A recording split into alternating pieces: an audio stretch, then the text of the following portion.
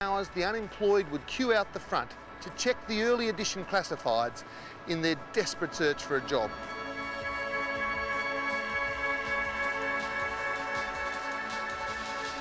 By the end of World War II, that had all changed.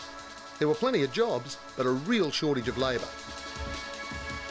Migrants poured into Sydney and the city boundaries began to creep outwards.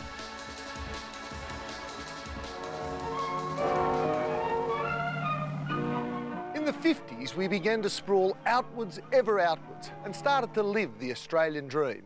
Homes with big backyards for big families, the Holden in the driveway, and billy cart races down the street.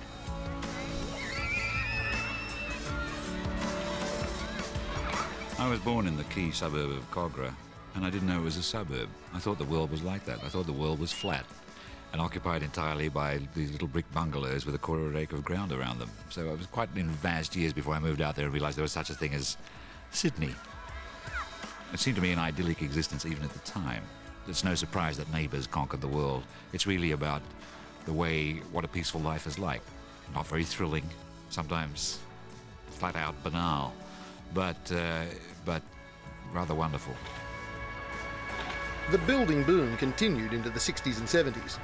Trouble was, we were demolishing the old and grand to make way for the merely new.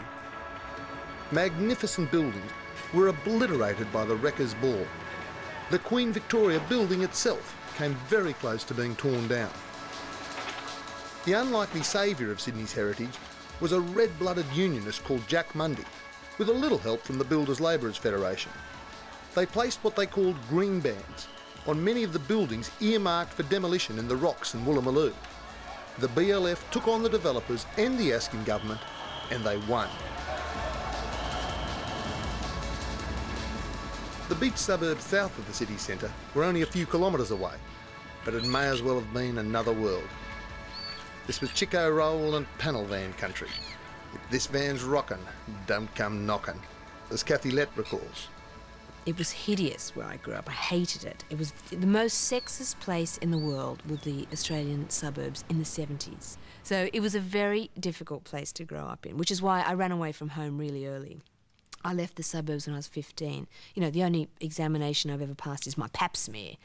Um, but you can understand why I had to get out of there. I mean, those men, they actually disproved the theory of evolution. They were sort of evolving into apes. But at that age, you have no objectivity on what's happening to you. I thought that was normal. They also thought sex drive meant doing it in the car. I mean, in the 70s, everyone had sex in the car. It's very, very sad.